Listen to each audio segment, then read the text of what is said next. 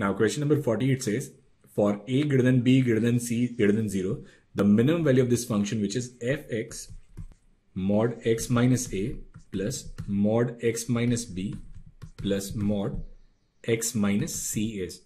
Now, if we look at this expression, this is nothing but this is deviation of x from these three given numbers a, b and c. And we know that mean deviation about median is the minimum. So this function fx will assume its minimum value at the median of this series, which is a, b and c.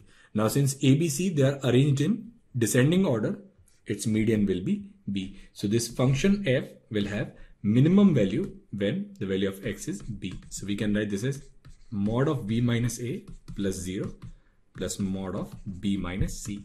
Now since b is less than a, so this one is a minus b and here we can write this as b minus c. So its value simply will be a minus c. So the minimum value of this function will be a minus c and that's your option number D.